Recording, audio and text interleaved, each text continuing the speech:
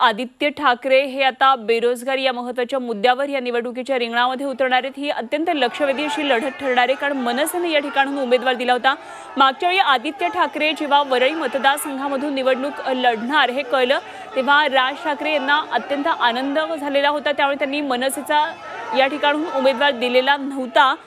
आणि ठाकरे घराण्यातली पुढची पिढी निवडणुकीच्या रिंगणात येते असा त्यांनी आनंद व्यक्त केला होता. यावेळी मात्र आदित्य ठाकरेंच्या विरोधात उमेदवार देणारे विरोधक म्हणून राज ठाकरे पहिले विरोधक ठरलेत आणि त्यांनी संदीप देशपांडे यांना या मतदारसंघातून निवडणुकीच्या रिंगणामध्ये उतरवलेलं आहे. तर अजून महायुतीचा उमेदवार घोषित व्हायचा आहे. त्यामुळे अत्यंत हाय व्होल्टेज अशी ही ही निवडणूक ठरणार आहे.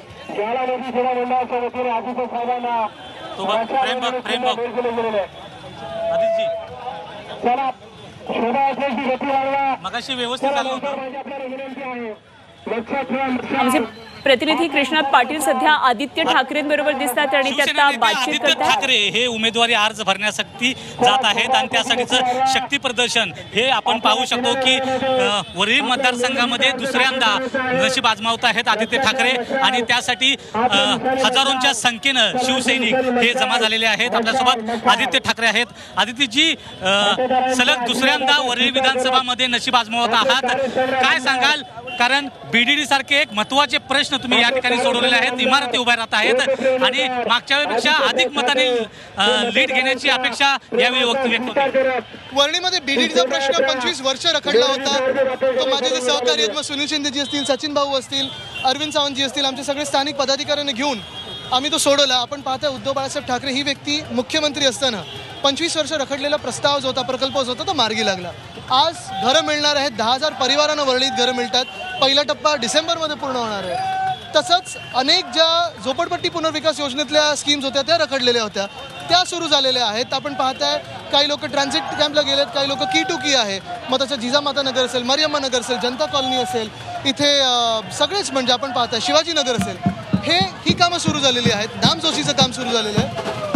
लोकांना घरांचा जो एक मोठा प्रश्न होता तो आम्ही मार्गी लावला आणि पुढच्या काही काळात हेच आम्ही पुढे नेणार विकास काम म्हणून. आणि दोन हजार एकोणीसमध्ये ए प्लस वरील आपण अ, एक आश्वासन दिलं होतं. कितपत पूर्ण झालेलं आहे? त्या संदर्भात काय सांगा नक्कीच आपण पाहताय सरकार असतं तर एकदाच्या मार्गी नेलंच होतं. सरकारने काही जसं पोलीस हाऊसिंगचा प्रश्न रखडवलेला आहे पोलीस हाऊसिंगचा प्रश्न देखील आम्ही येत्या सरकारमध्ये सोडवणार. आणि पोलिसांना त्यांची हक्काची घरं मुंबईतच मिळतील. रिटायर्ड पोलीस परिवारांना मिळतील. त्याच्यावर आता पुढचं काम करायचं. मनसेचा उमेदवार आपल्यासमोर आहे Sandeep Deshpande.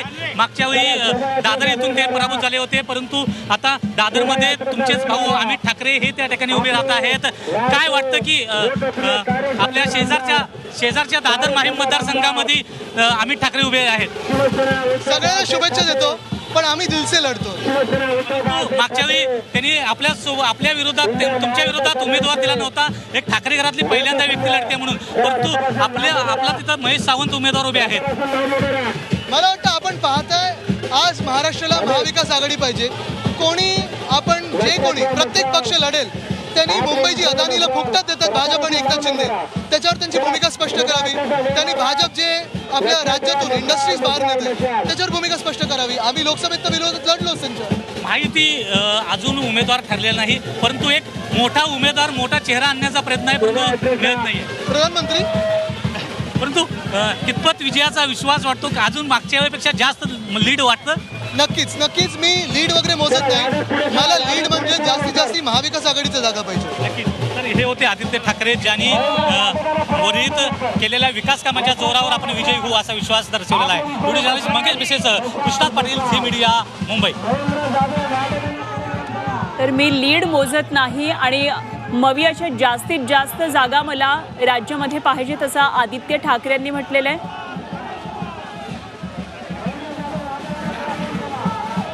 Thank you Sai. तर आपण आता वरळीमधून जाऊया ठाण्यामध्ये. आणि ठाण्यामध्ये जितेंद्र आव्हाड आपला उमेदवारी अर्ज दाखल करतात. मोठं शक्ती प्रदर्शन जितेंद्र आव्हाड यांनी केलं आणि विशेष म्हणजे त्यांच्या या शक्ती प्रदर्शनाच्या रॅलीमध्ये त्यांचा उमेदवारी अर्ज भरताना शरद पवार त्यांच्या बरोबर आहेत. आमचे प्रतिनिधी शुभम कोळी आपल्या बरोबर आहेत आणि त्यांनी चर्चा केली आहे. जितेंद्र आव्हाडांबरोबर पाहूया चौथ्यांदा आमदार जितेंद्र आव्हाड जे आहेत ते कळवा विधानसभेच्या उमेदवारीचा अर्ज भरण्याकरता निघालेले आहेत. पाहिलं तर मोठ्या प्रमाणात शक्ती प्रदर्शन जे आहे त्या ठिकाणी करण्यात येत आहे. शरद पवार देखील जे आहे ते आमदार जितेंद्र आव्हाड यांच्या या रॅलीमध्ये जे आहे ते सहभागी झाले होते. हर उन्हात जे आहे ते गुरु शिष्यांकरिता जे आहे ते शरद पवार जे आहे त्या ठिकाणी दाखल झाले आपण पाहिलं तर जंगी स्वागत जे आहे ते कळवा मतदारांकडून जे आहे ते आमदार जितेंद्र आव्हाड यांचं या ठिकाणी करण्यात येत आहे. निवडणुकीला समोर जात आहे अर्ज भरण्याकरता निघाला काय सांगाल एकंदरीत लोकांचं प्रेम दिसतं सर मोठ्या प्रमाणामध्ये आज कळवेकर असतील मुंबईवासी असतील मतदार राजा जो आहे तो भर उन्हामध्ये तुमच्याकरिता रस्त्यावरती उतरलाय. प्रेम प्रेमाशिवाय कोणी येत नाही. ऊन असेल वारा असेल पाऊस असेल त्या आज त्याचं साक्षात उदाहरण या ठिकाणी दिसून आले असेल वारा असेल पाऊस असेल कुठल्याही अडचणीत हा उभा राहतो. मग याच्यासाठी लोक येणार नाही. देव आपल्या भक्तासाठी येतो तो माझा देव आहे. काम बोलताय हा फॅक्टर कुठेतरी आता दिसून येईल का? मेरा काम ही मेरी पहचान आहे माझी ओळखच माझं काम आणि मी आभार मानतो सगळ्यांचे. की काही जात धर्म वगैरे काही बघत नाही. जितेंद्र आव्हाडने काम किया जर पाहिलं तर मागच्या विधान- विधानसभेमध्ये जे आहे त्या विरोधकांना तीस तीस हजार मतं पडली होती. तुम्हाला एक लाखांपेक्षा अधिक मताचा टप्पा तुम्ही गाठला होता. यंदाच्या मत मतदानामध्ये कशा प्रकारे फरक पडेल? कारण समोरही अपेक्षा उमेदवार जे मोठा दिसून येत आहेत. इस बार दीड लाख दीड लाख पार. सर चोवीस ते निवडणुकीचा दिवशी कशा प्रकारचा गणित असेल? कशा प्रकारचं चित्र दिसून येईल कळवा विधानसभेमध्ये?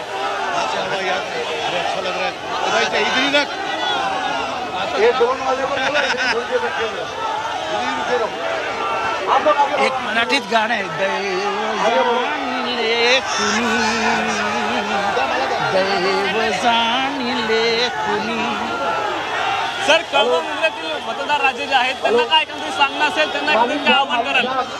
काम करत आलो आहे काम करत राहीन. तुमच्या सर्वांसाठी देह प्राण अर्पण निश्चित आपण पाहिलं तर मोठ्या प्रमाणात शक्ती प्रदर्शन करत जे आहे ते आमदार जितेंद्र आव्हाड या ठिकाणी आता उमेदवारीचा अर्ज भरण्याकरता निघाले. तर त्यांच्या एका वेगळ्या अंदाजाने देखील त्यांनी जे आहे ते या ठिकाणी मतदार राजांना मतदान करण्याच्या दिवशी जे आहे ते बाहेर पडावं. काम बोलत आहे हे नक्कीच येत्या विधानसभेच्या निवडणुकीमध्ये दिसून येईल. असं देखील आमदार जितेंद्र आव्हाड या ठिकाणी म्हणाले आहेत. शुभम कोळी झी चोवीस तास ठाणे.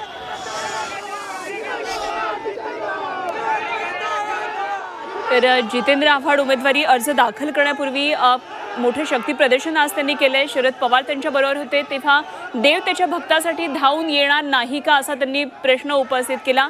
आणि दैव जाणीले कुणी असं गाणं म्हणत त्यांनी एकंदरीतच येणाऱ्या निवडणुकांचं काय नेमकं गणित असेल हे सांगितले किती मोठा लीड त्यांना मिळेल ते येणारी निवडणूक ठरवणारे मात्र मोठं शक्ती प्रदर्शन करत जितेंद्र आव्हाड आपला उमेदवारी अर्ज भरतात.